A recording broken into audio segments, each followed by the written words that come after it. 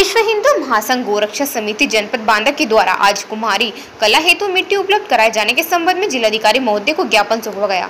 निवासी खाईपार मोहल्ला, मूल निवासी सभी लोग मुख्य पैसे से मिट्टी के बर्तन बनाते हैं और यह व्यवसाय करके अपने बच्चों का भरण पोषण करते हैं। खाई पार स्टेशन से मिट्टी लाकर बर्तन बनाने का कार्य करते चले आ रहे हैं, किंतु कुछ दबंग एवं हुंडा किस्म के व्यक्ति मिट्टी लेने से मना करते हैं और मिट्टी के बर्तन बनाने वाले को गाली गलौज करके अपमानित करते हैं। उन्होंने जिलाधिकारी महोदय से मांग की है जल्द से जल्द मिट्टी की जगह उपलब्ध करवा दिया जाए।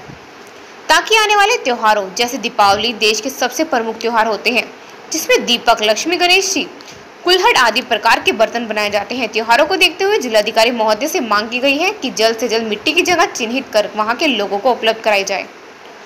जो लोग उनकी जमीनों में कब्जा किए हुए हैं, उनको तत्काल प्रभाव से मुक्त कराया जाए। इस मौके में आलोक प्रजापति, शीलू कुमार, पदाधिकारी आदि मौजूद रहे हैं।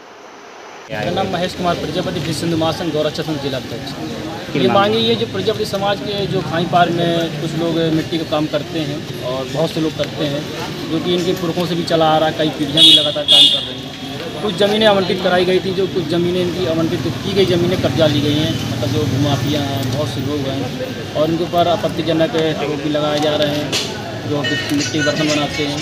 इसी वजह देखते हुए इनके त्यौहार भी पास में हैं। त्यौहार को पास में देखते हुए जिलाधिकारी जी के माध्यम से ज्ञापन सौंपा दिया है। उचित कार्रवाई करवाई क्या आश्वासन आपको जिलाधिकारी के माध्यम से मिला? आश्वासन ये दिया गया कि बहुत जल्द कार्रवाई करवाई जाएगी।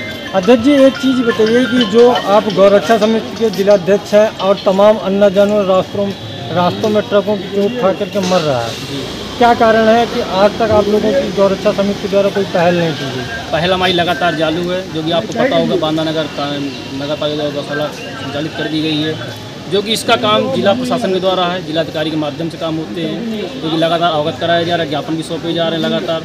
आपको पता होगा नौ तारीख को ज्ञापन सौंपा गया था। जो कि कहा भी गया था कि तत्काल प्रभाव से पूरी गौशालाओं संचालित किया जाए और इनमें गौ संरक्षित किया जाए। अभी भी तमाम ऐसी जगहें हैं जहाँ पे जानवर अन्ना जानवर है इस समय पूरे ज़िले में अन्ना गौवंश मतलब खुला घूम रहा है। सिर्फ़ बांदा नगर में काना गौशाला ये नगर पालिका गौशाला मतलब प्रेशर बना के दवा बना खुलवाई गई है। वहाँ पर कुछ जानवर संरक्षित किया गया है।